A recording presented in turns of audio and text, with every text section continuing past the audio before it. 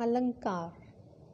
अलंकार क्या है? सबसे पहले आज ये बात करेंगे, सभी प्रतियोगी परीक्षाओं में अलंकार से संबंधित प्रश्न पूछे जाते हैं। तो सबसे पहले बात करते हैं कि साधारण शब्दों में इस अलंकार का अर्थ क्या है। अगर हम साधारण शब्दों में अलंकार का अर्थ देखें तो अलंकार का मतलब होता है अलंकृत करना या शोभा बढ़ाना। जिस प्रकार से नारी आभूषणों से अपनी शोभा बढ़ाती है, उसी प्रकार से कवि अलंकार के द्वारा अपनी कविता की शोभा बढ़ाते हैं। कंगन से हाथ की शोभा होती है, कुंडल से कान की, हार से गले की शोभा होती है, उसी प्रकार से अनुप्रास, उपमा आदि अलंकारों का प्रयोग करके कविता के सौंदर्य को और आकर्षण को बढ़ाया जाता है। यह कविता के आकर्षण को प्रभावशाली बनाता है। अलंकार का मतलब ही आभूषण होता है। अगर साधारण शब्दों में बात करें तो। कवि शब्द विशेष का प्रयोग करता है। जब उसे अपनी कविता के चमत्कार को बढ़ाना हो तो कभी वह अर्थ में इस प्रकार का अलंकार प्रेषित कर देता है, जिससे उसकी कविता की शोभा बढ़ जाए। बात करते हैं अलंकार की परिभाषा की। शब्द और अर्थ में, शब्द और अर्थ दोनों में चमत्कार उत्पन्न करके कविता की शोभा बढ़ाने वाले तत्व को अलंकार कहते हैं। शब्द अलंकार क्या है? शब्द अलंकार क्या है? जहाँ शब्दों के कारण, जहाँ शब्दों के कारण किसी रचना में चमत्कार उत्पन्न हो, वह क्या है? शब्द अलंकार है, जैसे चारु चंद्र की चंचल किरणें। यहाँ पर च वर्ण की आवृत्ति है, यहाँ अनुप्रास अलंकार है। चारु चंद्र की चंचल किरणें ये शब्दों में च की आवृत्ति हुई है, इसलिए कविता में सुंदरता बढ़ गई है। चारू चंद्र की चंचल किरणें खेल रही हैं जलथल में। इस प्रकार से यहाँ पर कौन सा अलंकार है? शब्दालंकार। अर्थ अलंकार क्या होता है? अर्थ अलंकार होता है जहाँ अर्थों के कारण किसी रचना में चमत्कार उत्पन्न हो, उसे अर्थ अलंकार कहते हैं। वहाँ अर्थ अलंकार होता है, जैसे उपमा, रूपक, उत्प्रेक्षा, ये सब क्या हैं? प्रसिद्ध अर्थ अलंकार हैं। इनकी हम आगे के वीडियो में बात करेंगे। दोनों का विशेष वर्णन करेंगे कि किस प्रकार से शब्द अर्थ अलंकार में और अर्थ अलंकार में क्या अंतर होता है। अब बात कर लेते हैं शब्द के कारण।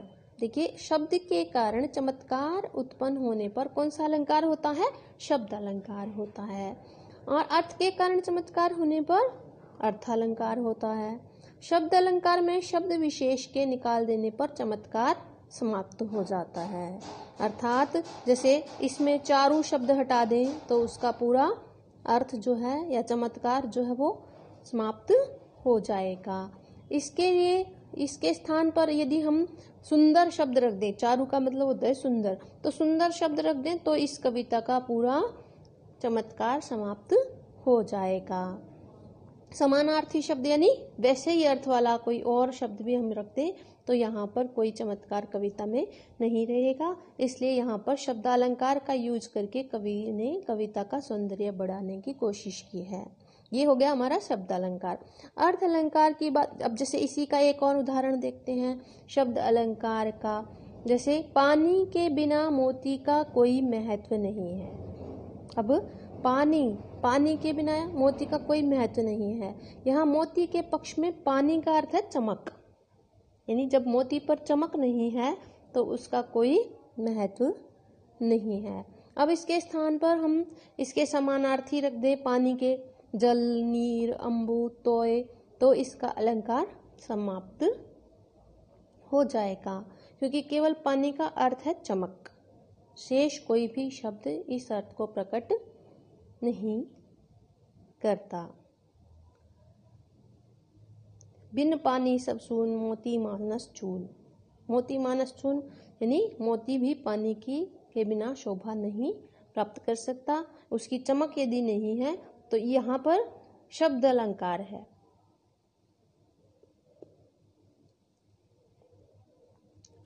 उसका मुख चंद्रमा के समान सुंदर है। इस कथन में चमत्कार का कारण अर्थ है। चाँद भी सुंदर है और उसका मुख भी सुंदर है। यानी कि अर्थ प्रकट हो रहा है यहाँ।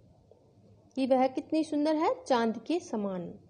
यहाँ चाँद का कोई भी समानार्थी शब्द राकेश, इंदु, ये सब इसके चाँद के समानार्थी शब्द हैं। यदि हम इन्हें रख दे तो अर्थ का चमत्कार समाप्त हो जाएगा। उसका मुख चाँद के समान सुंदर है। उसका मुख चंद्रमा के समान सुंदर है।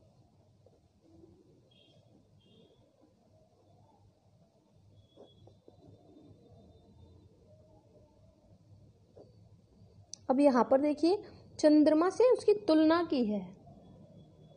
किसके समान सुंदर है? चंद्रमा के समान सुंदर है। तो यहाँ कौन सा अलंकार है? अर्थ अलंकार।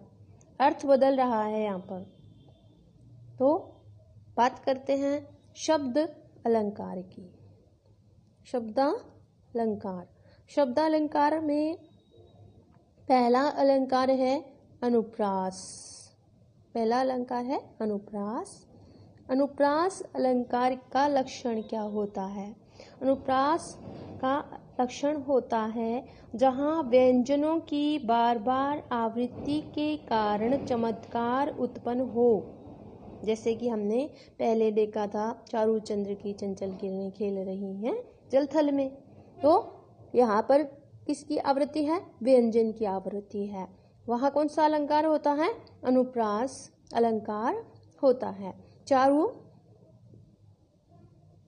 चंद्र की चंचल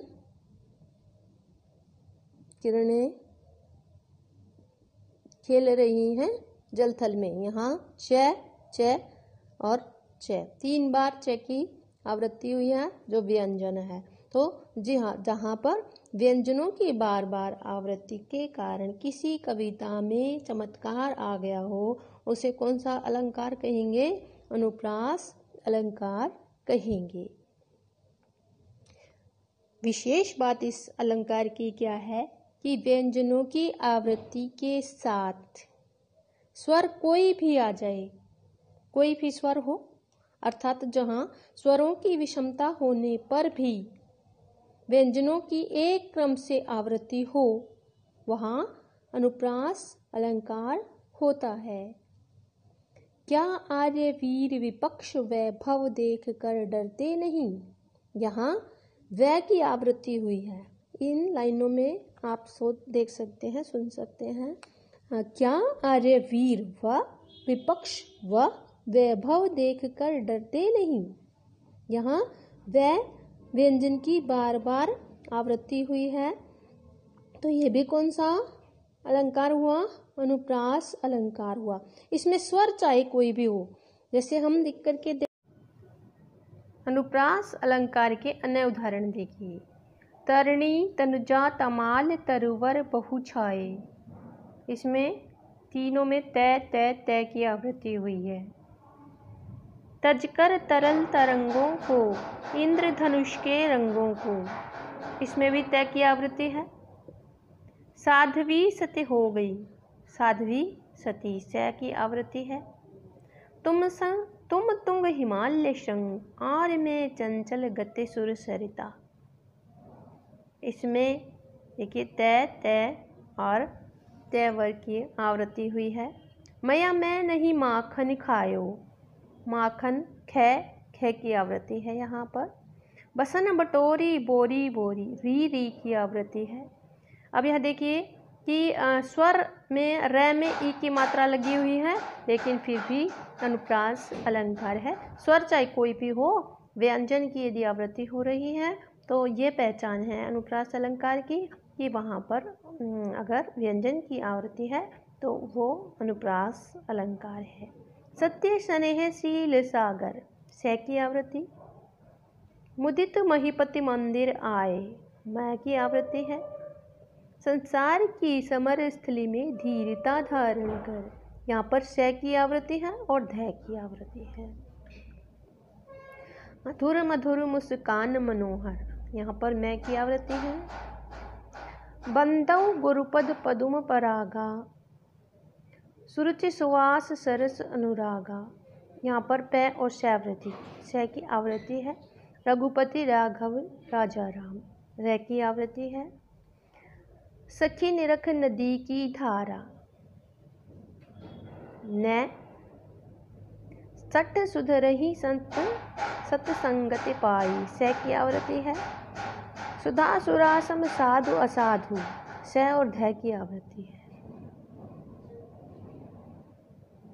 बालक बोली, बधऊ नहीं तो ही।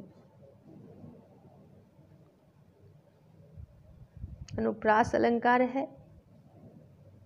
कोटि कुलिस सम बचन तुम्हारा। यहाँ पर भी अनुप्रास और उपमा अलंकार है। कोटि कलिश संवचन तुम्हारा तुलना की गई है वचन की। और करनी करी करी लड़ाई। यहाँ पर भी अनुप्रास अलंकार है। कानन कठिन भयंकर भारी का कावर की आवृत्ति है। क्या की आवृत्ति है? तो इस प्रकार से ये हुआ अनुप्रास अलंकार। इसके बाद हम अपने नेक्स्ट वीडियो में करेंगे यमक अलंकार। तो मैंने इसका लिंक आपको डिस्क्रिप्शन बॉक्स में दिया है। आप वहाँ से यमक अलंकार को पढ़ सकते हैं। यदि आपको वीडियो में और कुछ जानना है तो आप कमेंट बॉक्स में कमेंट करके बता सकते हैं। अगर आपको वीडियो पसंद आती है तो लाइक ज़रूर करें और शेयर भी करें। सब्सक्राइब भी करें। धन्यवाद।